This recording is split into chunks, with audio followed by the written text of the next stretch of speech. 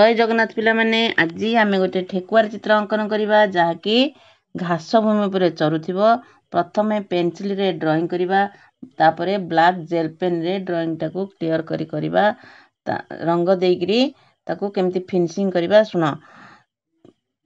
ରଙ୍ଗଟାକୁ ମିଶେଇ ମିଶେଇ ଦେବା କେଉଁଠି କେଉଁଠି ଲାଇଟ୍ ଛାଡ଼ିବା ପ୍ରତ୍ୟେକ ରଙ୍ଗ ବ୍ୟବହାର କରିବା ମୁଖ୍ୟତଃ ଗ୍ରାଉଣ୍ଡରେ deep green blue red light green yellow ଇତ୍ୟାଦି ବ୍ୟବହାର କରିବା ଠେକୁଆ ରଙ୍ଗ ସାଧାରଣତଃ ଧଳା ହୋଇଥାଏ। ତା ସତ୍ତ୍ୱେ ବି ଆମକୁ ଠେକୁଆ ଦେହରେ ଲାଇଟ୍ ସେଟ୍ ଦେଖେଇବାକୁ ପଡ଼ିବ। ଆଖି କାନ ପାଟି ଇତ୍ୟାଦିରେ ଟିକେ ପିଙ୍କ କଲର୍ ବାଜିବ ବାଡ଼ରେ ବ୍ରାଉନ୍ କଲର୍ ଦେବ।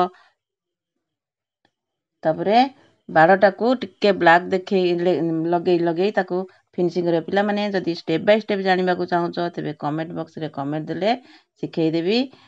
ତାପରେ ଲାଇକ୍ ସେୟାର ସବସ୍କ୍ରାଇବ୍ କରିବ।